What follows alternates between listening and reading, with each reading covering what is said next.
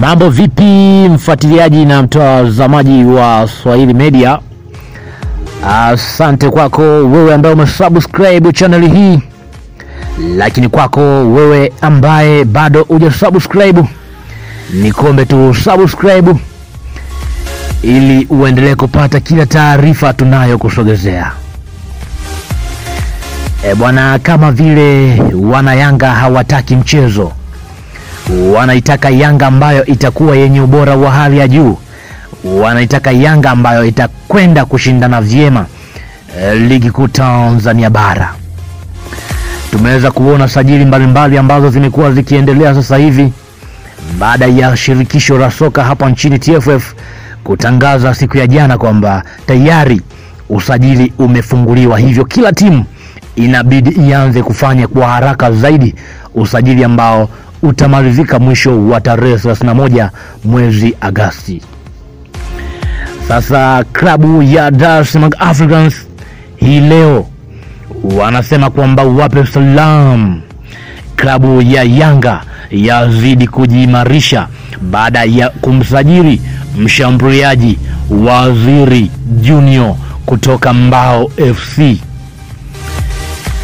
E, tunakumbuka kwamba Waziri Junior ni mshambuliaji nambari mbili ambaye anafata nyuma ya Medi Kagere kwenye ufungaji wa ligi kuu Tanzania bara. Hivyo Yanga e, wanakuwa wamefanya usajili wa nne tangu dirisha la usajili lifunguliwe. Karibu Waziri Junior ndani ya Yanga. Wachezaji ambao tayari wamesajiliwa na Yanga katika dirisha hili la usajili ni Zawadi Mauya kutoka ndani ya Kagera Sugar, kiungo huyu mkata umeme, lakini wamemalizana na Bakari Mwamnyeto kutoka klabu ya Coastal Union ya Tanga. Mwingine ni Yasin Mustafa, watu wanasema Masero e, kutoka Polisi Tanzania, lakini mchezaji mwingine ni Waziri Junior, ambapo anafikisha idadi ya wachezaji wanne ambao tayari wamesajiliwa na Yanga. Sasa mashabiki wengi wamekuwa wanasema kwamba usajili Yanga wanasajili tu ovyo, lakini huenda ni usajili ambao ukaenda kuwapa e, nafasi nzuri ya kuweza kuwa kwenye ubora wa hali ya juu. Sasa hivi klabu ya Yanga e, imeripoti kwamba itatambulisha kwanza wachezaji wazawa, alafu baadaye ndipo ambapo watatambulishwa wachezaji wa kigeni. Yanga sasa inakwenda kuwa bora. Je, unauzungumziaje usajili wa Waziri Junior? Hebu twende tumtazame Waziri Junior mpaka e, sasa hivi amejiunga na klabu ya Yanga. Katoka wapi? E, alianzia wapi?